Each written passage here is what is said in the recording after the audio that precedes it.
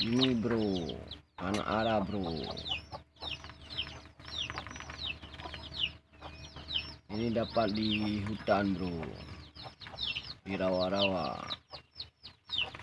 Jangan lupa like dan komen oke? Okay? ini nanti bisa kita peranakan nih